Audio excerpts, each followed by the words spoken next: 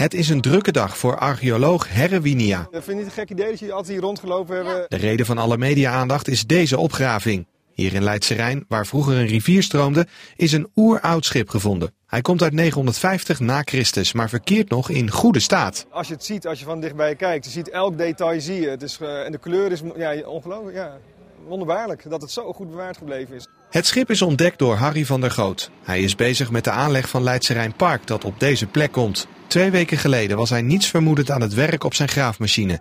Tot hij iets geks zag. Ik denk, hé, hey, er kon wel wat zitten. Een stukje hout of zo, of een balkje.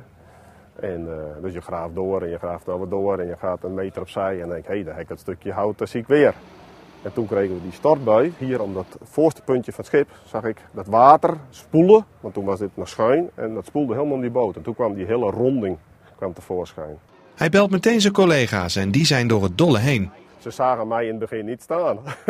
ze waren helemaal enthousiast en gek. Uh, en ze doken hier allemaal als gekken in die... Uh, nou, hier in dat gat, om zo maar te zeggen. De laatste jaren zijn er vaker opgravingen geweest in Leidse Rijn. De meeste vondsten komen uit de Romeinse tijd, maar het schip dat nu is gevonden niet. Het jaringonderzoek wees gelijk de volgende dag uit dat het schip dateert uit 956 na Christus.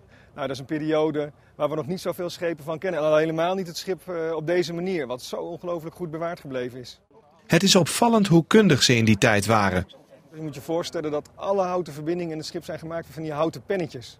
Nou, dat, als je dat ziet, ook uh, als je die details ziet, maar dan weet je niet, wat, weet je niet wat je ziet. Zo, zo knap en zo kundig gemaakt. Het schip heeft al een naam, de Vleuten 2. Want drie maanden geleden is er ook een schip gevonden, de Vleuten 1. En die is net iets kleiner dan deze. Beide vondsten zijn tot nu toe stilgehouden uit angst dat ze vernield zouden worden. En dat zou meer dan zonde zijn. We willen graag de geschiedenis vertellen. En de geschiedenis vertel je het mooist aan de hand van mooie vondsten. Bijzonder of niet, Harry is blij dat hij na vandaag weer op zijn graafmachine kan. Ja, goed, je brengt wat teweeg, maar ja, ik ben liever uh, aan het werk.